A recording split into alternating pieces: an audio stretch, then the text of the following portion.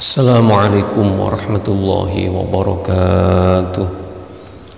A'udhu billahi minasyaitanir rajim Bismillahirrahmanirrahim. Alhamdulillahi alamin. Wassalatu wassalamu ala asrafil anbiya'i wal mursalin wa ala alihi washabbihi ajma'in.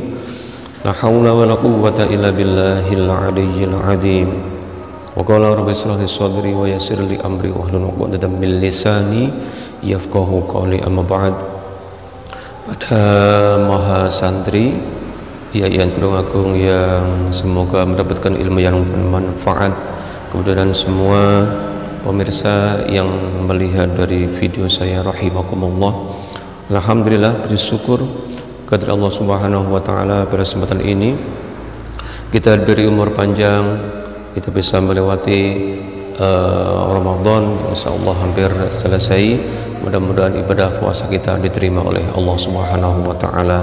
Amin amin Allahumma amin. Yang kedua salawat dan salam tak lupa kita sanjungkan kepada Nabi Agung Muhammad sallallahu alaihi wasallam alladzi turja syafa'atuhu min yaumina hada ila yaumil qiyamah. Amin Allahumma amin.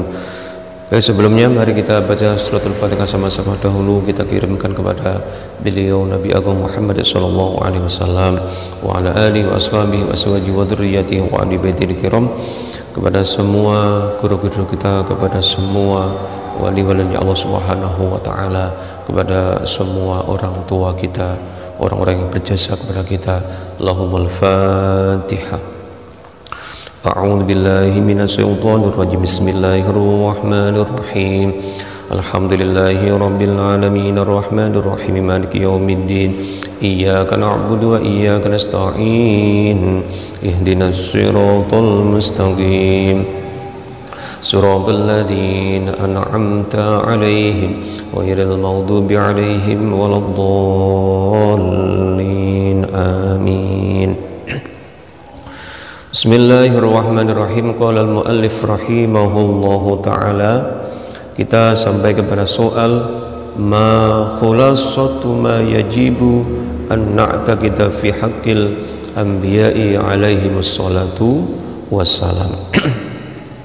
Bismillahirrahmanirrahim. Soal ma iku apa? Ma iku apa khulasatu ma utawi kesimpulane bareng khulasatu ma utawi kesimpulane barang yajib kang wajib apa ma? Yajib kang wajib apa ma? Anak takida ing yen to nekotake sapa kita? Ing yen to nekotake sapa kita? Fi haqqil anbiya'i. Fi haqqil anbiya'i ing dalem haqqi ing dalem haqqi pira-pira nabi alaihi wassalatu wassalam. Ing dalem haqqi pira-pira nabi alaihi wassalatu wassalam kita sampai kepada soal tentang ringkasan apakah ya yang harus kita yakini, yang harus kita i'tikati dengan keadaan para para nabi alaihi wassalatu wassalam dengan hak-haknya dari para nabi alaihi wassalatu wassalam.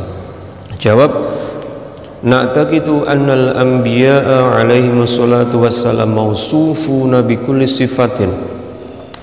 Na'taqidu nekatake sapa kita. Nak takitu nekotake sapa kita. Annal anbiya ing temen setuhune pira-pira nabi alaihi wassalatu wassalam. Iku mausufuna pira-pira kang den sifati. Iku mausufuna pira-pira kang den sifati bikuli sifatin kelawan saben-saben sifat. Bikuli sifatin kelawan saben-saben sifat. Tasyinu uh, tazinu kang mais maisi apa sifat. Kang mais maisi apa sifat. Wa mubarrauna lan pira-pira kang den bersihake kabeh. Lan pira-pira kang den bersihake kabeh utawa den lebarake kabeh fi dhahiri ing dalem dhahiri fi dhahiri ing dalem dhahiri wal batini lan batini wal fi'li wal fi'li lan akawiani wal akawani wal qaulan ucapane uh, dibersihkan an kulli amirin kulli amrin angkuli amrin saking saben-saben perkara yasinu kang nacatake apa yasinu kang nacatake apa amr kang nacatake amro apa amr. Jadi eh, ringkasannya begini. Kita wajib untuk meyakini bahwasanya para nabi ini mempunyai sifat yang semua sifatnya ini adalah semuanya ini adalah bersih dan punya sifat yaitu dengan sifat-sifat yang sangat yang sangat baik. Wa mubarrauna fi dhahiri wal batini wal fi'li wal qawli an kulli amrin yasin. Dan diketahui bahwasanya mereka semuanya mereka semuanya para nabi ini adalah semuanya bersih baik segi zahirnya, batinnya, kemudian perbuatannya, ucapannya ini dibersihkan dari segala sesuatu yang membuat cacat kepada mereka atau dari sesuatu yang sangat yang yang jelek. Ini. Wa annahum wa annahum lan setuhun lan temen setuhune para nabi.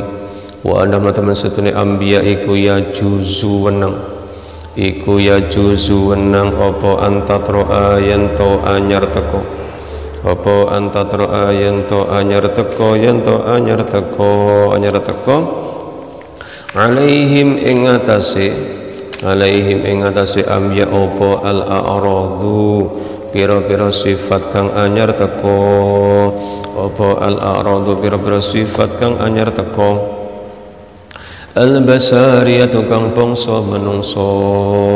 Allati kang allati kang la tuati kang ora nekaake apa allati allati kang la tuati kang ora nekaake apa allati ora nekaake? Ila naqsin maring kurang utawa maring sifat kurang fi maratibihim ing dalam pira-pira derajate uh, anbiya' fi maratibim ing dalam pira-pira derajat anbiya al aliyati kang luhur.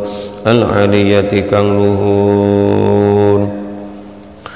Dan juga para nabi ini uh, dapat mempunyai sifat atau dapat bersifat sebagaimana layaknya manusia biasa yang di situ sifat yang di situ tidak mengurangi daripada ketinggian derajat dan martabat mereka di sisi Allah Subhanahu wa taala dan di sisi manu dan di sisi manusia.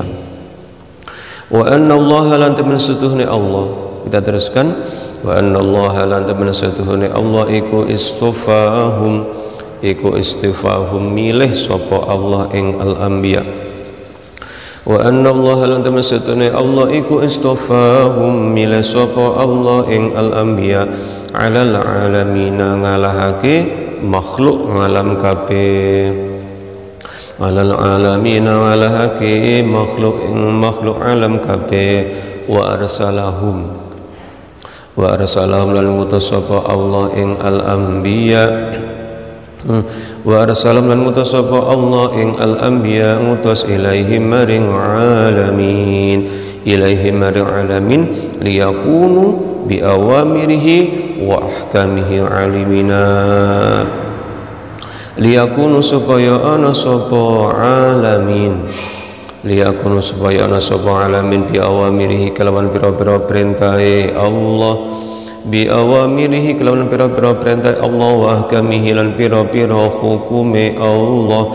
Iku alimina iku alimina pira-pira kang padha nger pira-pira kang padha ngerti. Iku alimina pira-pira kang padha ngerti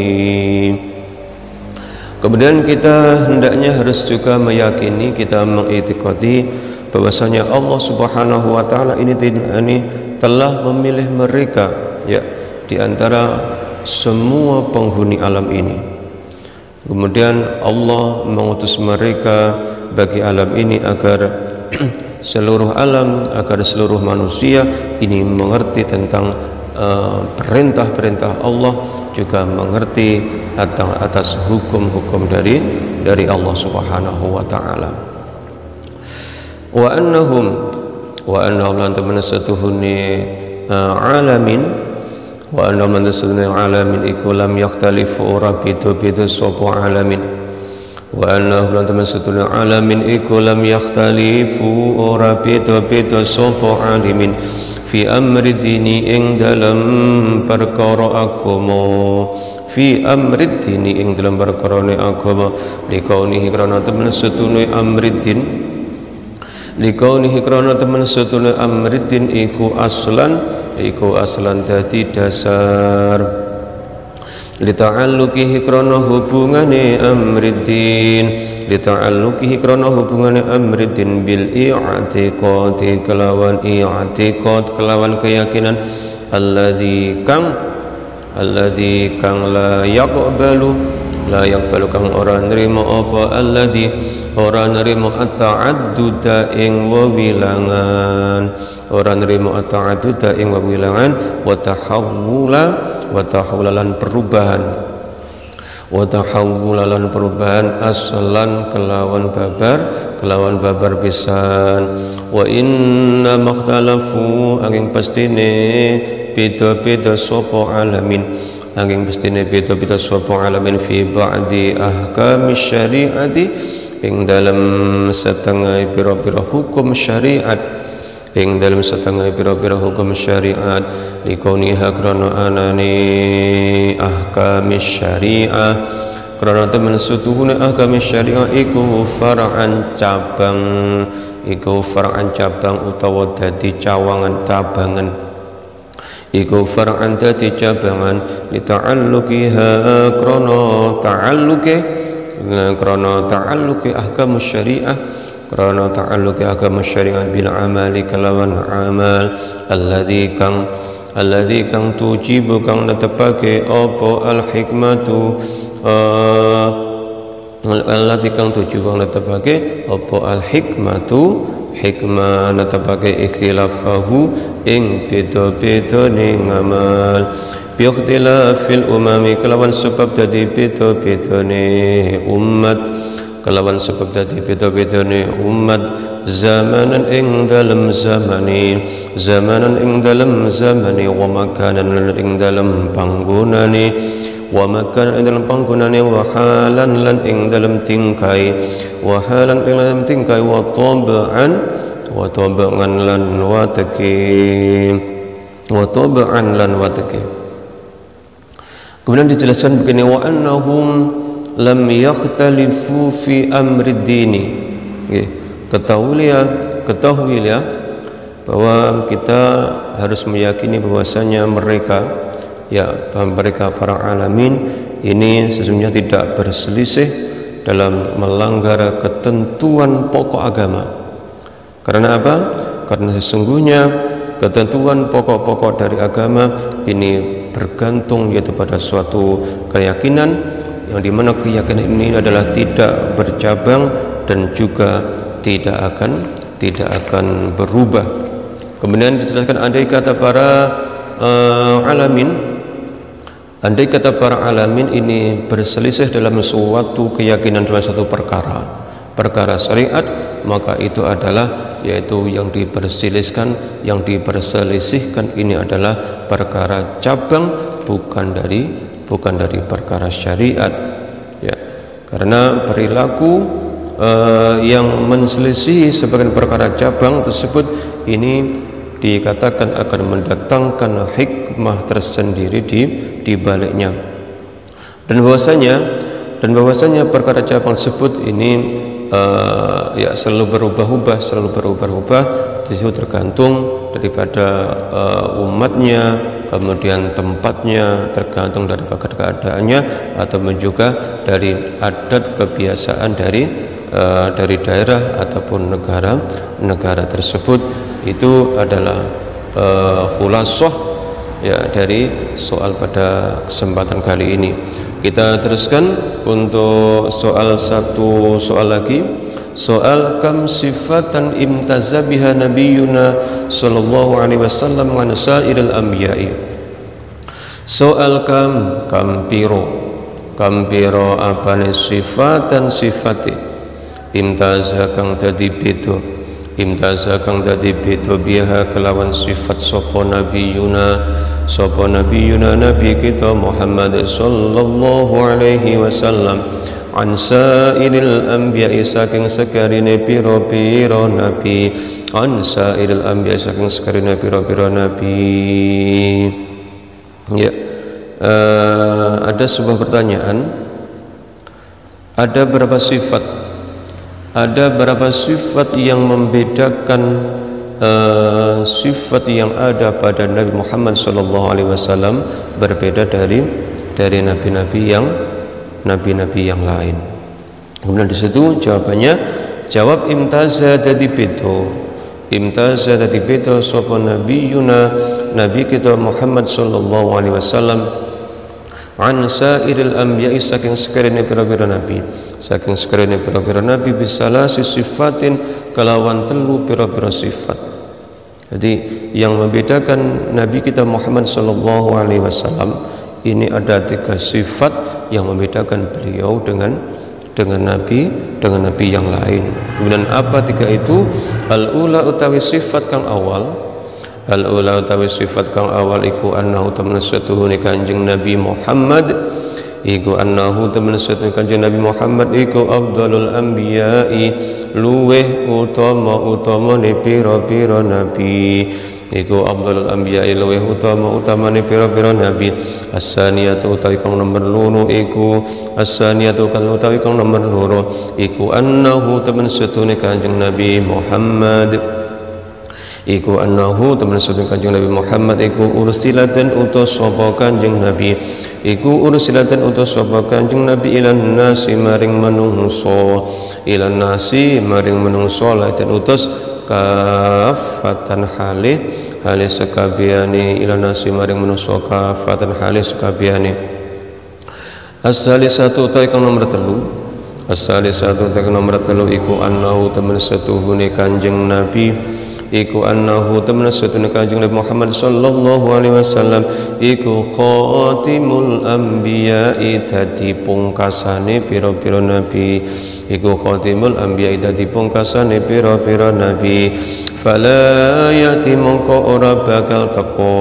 Fala yati mongko ora bakal teko ba'dahu ing dalem sawise kanjeng nabi ba'dahu ing dalem sawise kanjeng nabi sapa nabiyun nabi kang wene utawa nabi kang nabi kang liya ya tadi dikatakan bahwasanya ada tiga sifat yang ada pada diri Nabi yang membedakan Nabi Muhammad Sallallahu Alaihi Wasallam dengan Nabi yang lain. Salah satunya yang pertama bahwasanya Nabi Muhammad ini adalah Nabi yang paling utama. Dari dari sekian Nabi mulai dari Nabi Adam sampai Nabi Muhammad Sallallahu Alaihi Wasallam Nabi yang paling utama ini adalah beliau Nabi Muhammad Sallallahu Alaihi Wasallam. Kemudian yang kedua, kalau Nabi-Nabi sebelum kanjeng Muhammad ini hanya diutus untuk umat pada zamannya untuk umat pada zamannya tapi berbeda dengan Nabi Agung Muhammad wasallam beliau ini adalah diutus untuk semua manusia. Sekali lagi bahwasanya Nabi Muhammad wasallam ini adalah diutus untuk seluruh seluruh umat manu, manusia. Yang terakhir yang membedakan Nabi Muhammad dengan yang lainnya bahwasanya beliau Nabi Muhammad ini adalah merupakan khatamul anbiya'i ya khatimul anbiya'i yaitu nabi yang nabi yang terakhir nabi penutup dari sekian dari sekalian para para para para nabi. Kemudian fala ya'ti ba'da nabiyyun maka tidak akan datang lagi nabi setelah beliau Nabi Agung Muhammad sallallahu alaihi wasallam.